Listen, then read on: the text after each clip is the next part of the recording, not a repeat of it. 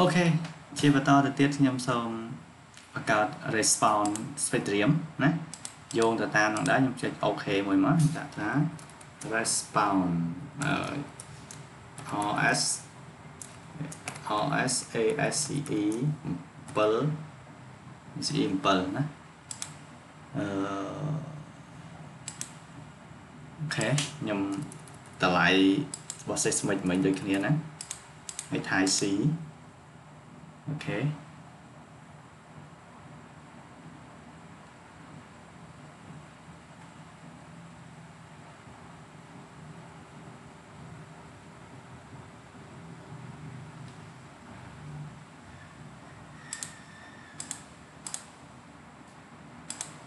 នេះរៀងរៀងក្រាបណាហើយ damper ratio វាគឺ5% 0.05ត្រូវហើយ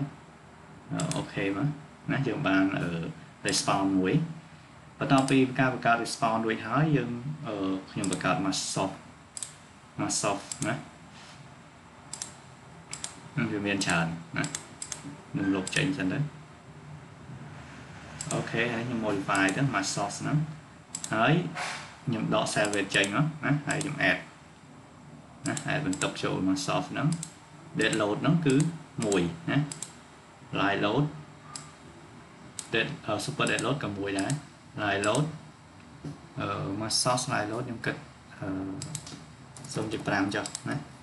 ព្រោះធម្មតាវាអត់ពេញទេមិនអាចដើរពេញទាំងអស់ណាខ្ញុំគិតថា0.5ឯងហើយមកចុចអូខេអូខេបន្ទាប់ពីមកសោះហើយខ្ញុំបង្កើតអឺ feed data ណា feed data អឺខ្ញុំយកមកណា អូខេមួយមួយអញ្ចឹងទៅ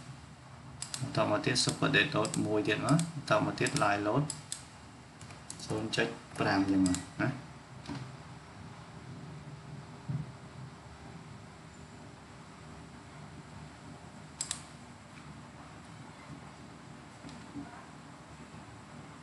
បន្ទាប់ពី p data ហើយខ្ញុំបង្កើត model mass ណា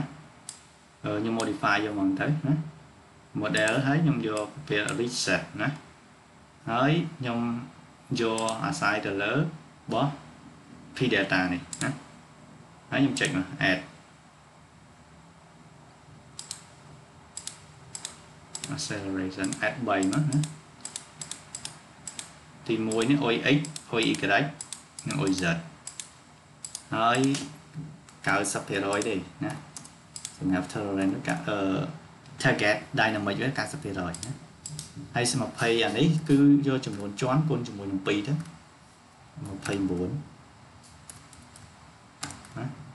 ឃើញ58ដែរណាអូខេហើយ mesh ណា mesh ហ្នឹងចូលមកហើយណាអូខេហើយអូខេបន្ទាប់ពីកើត mesh mesh អឺអឺ model មិញ model អូខេកើត model ហើយយើង model case រួចហើយខ្ញុំចូល case ណាអឺ win load អីធម្មតាទេឥឡូវខ្ញុំបង្កើតតកតងជាមួយនឹង case variant មួយទៀតគឺខ្ញុំដាក់ថា response តាមទិស x ណាហើយអានេះខ្ញុំយកតាម response spectrum អូខេបន្តមកទៀតអឺតាមទិស x វាមាន2ណាវាមាន OI1 ហើយនិង OI3 OI3 ណាអឺហើយយកទៅតាម response code មិញដែលយើងឲ្យបង្កើតមកនេះមិញហ្នឹងហើយអានេះ factor វាគឺ default ប៉ុណ្ណឹងអឺរូបមន្តរបស់វាគឺ i i ហ្នឹងគឺអាគេហៅ important factor គុណជាមួយនឹង z z ហ្នឹងគឺទស្សនវិស័យផែនដីហ្នឹងអឺអានេះជា z ណាអានេះជា z យក i គុណ z ចែកជាមួយនឹង a a យើងមិញ5អញ្ចឹងយើងចែកមក5យកមកទៅព្រោះអី response អា important factor 1 ហ្នឹងគឺស្មើនឹង1ឯងចេះគុណមកហើយអានេះវាស្មើនឹង2ភាគ3នេះនេះចឹង copy មក copy ផាសមកគុណនឹង2ចែកឲ្យ3ណាប៉ុណ្ណឹងអូខេអានេះ19និង13ហើយអានេះយើងយក model ដែលយើងបង្កើតមិញអានេះយើងកណនាតាម OQC ណា OQC អឺ សម្រាប់ direct combine នេះគឺយកធម្មតាអត់កែទេអានេះអឺសម្រាប់ constant dumping នេះគឺ5%ណា0.05ត្រូវហើយអត់ខុសទេហើយសម្រាប់ paragram អឺដែលចាក់ចិត្តនេះគឺអឺចឹងនិយាយថា ratio ភាគរយនៃអាចាក់ x sub ណាដែល0.05 5%ដែរណាណាអូខេ ប៉ុណ្ណឹងមកយើងអូខេបើចឹងយើងបង្កើតបាន ASX មួយហើយហើយយើងបង្កើត ASY មួយទៀតមក ASY យក response spectrum ដែរណា S2 ហើយនិង S3 នេះចែក5មក copy ហាហើយគុណ2ចែក3អូ ខេអានេះដូចគ្នាអញ្ចឹងដូចគ្នាទេអានេះកាមិញហ្នឹងបាន0.05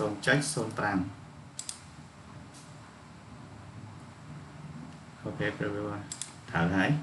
បន្តមកទៀតយកពីគុំជោគគ្នាណាអឺ add មកមកន័យថា AS x y ណា AS x y ហើយ response ទៅត្រៀមដូចគ្នា add អានេះ3បានន័យថា OI1 OI2 ហើយនិង OI3 ណាហើយយោងទៅតាម response របស់នេះដែរណាអានេះចែកទៅ5នេះក៏ចែក5ដែរអានេះបានឥឡូវនេះ copy មកហើយផាសណាហើយគុណនឹង2ចែក3 អាហ្នឹងខ្ញុំអត់ប្រែហ្នឹងវារូបមន្តវាអញ្ចឹងណាព្រោះប្រាប់វែងឆ្ងាយទៀតជិលស៊ីពេលណាអូសំកែមួយទៀតតកតងជាមួយនឹងអានេះភាគរយខ្ញុំចុចអូខេណាឥឡូវខ្ញុំបង្កើតបានអឺនេះប៉ុណ្ណេះទៀតហើយខ្ញុំបង្កើតប្រភេទអឺ load case មួយទៀតតកតងជាមួយនឹងអឺ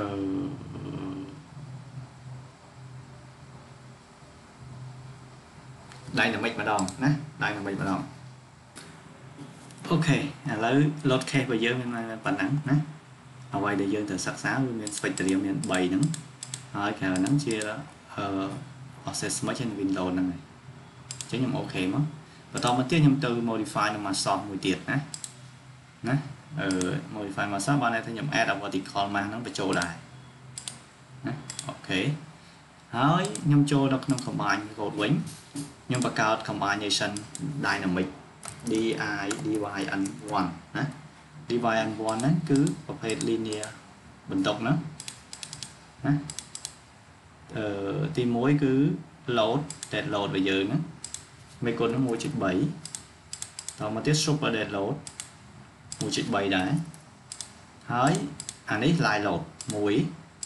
តមកទៀត space x space y មិញហ្នឹងណាមួយដូចគ្នាអញ្ចឹងអូខេតមកទៀតខ្ញុំបង្កើត2ទៀតអានេះ2អានេះ space y ម្ដងណាអានោះមួយទៀតមក3អានេះ1 2ណា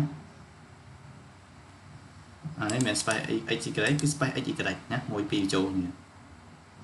ហើយខ្ញុំអូខេខ្ញុំបាន3ហ្នឹងបន្ទាប់ពីហ្នឹងខ្ញុំបង្កើតអឺតែ super dead load ទេបន្ទុកដែលតេបតូចបំផុតនៃនៃអានេះហ្នឹងប្រហែលណាខ្ញុំអូមកថា SDL SDL1 អឺ line load super dead load line load ហើយហ្នឹងអឺ S នេះហ្នឹងថាអូខេឥឡូវខ្ញុំនេះអានេះទៅ0.9ទេ0.9អានេះមួយ line line load មួយធម្មតាតែ ASX អឺដូច ASX ចឹងឯងឈប់ខ្ញុំទៅមើលបន្តិច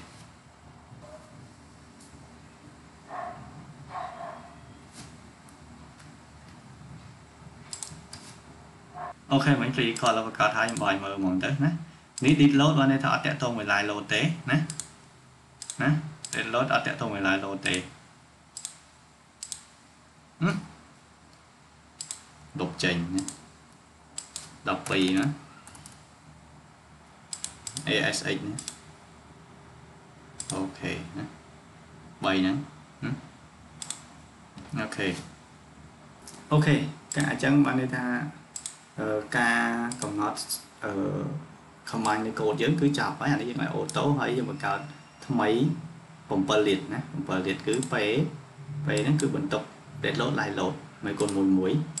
ទុកដែលមាន7អាគារយើងហ្នឹងណាអូខេមកអូខេមកន័យថាការកំណត់របស់យើងគឺអស់ហើយយើងទៅមើល